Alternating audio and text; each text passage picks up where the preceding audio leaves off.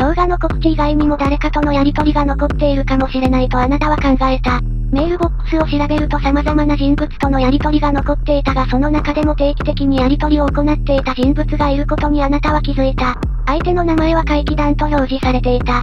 怪奇団はアーバンレジェンドにたびたび動画のネタを提供していたらしい。アーバンレジェンドが失踪する3日前のやり取りにあなたは目をつけた。二人の最後のやり取りだ。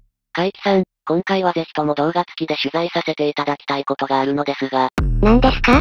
真実元ムさんの失踪の件です。彼については何があったか私にもわかりません。何かを調べていて失踪したのではないのですか？私にはわかりません。車で山に向かったそうですね。それ以上調べない方がいいですよ。やはり知ったらまずい系統の話を扱ったんですね。わかりました。明日の13時に私のオフィスに来ていただけますか？話をしていただけるのですね。私はそのために生かされているのでしょうからね。どういう意味ですか？それについても明日話します。わかりました。それでは明日よろしくお願いします。はい、よろしくお願いします。他の情報を調べたいのなら導入動画にある判定を成功させてください。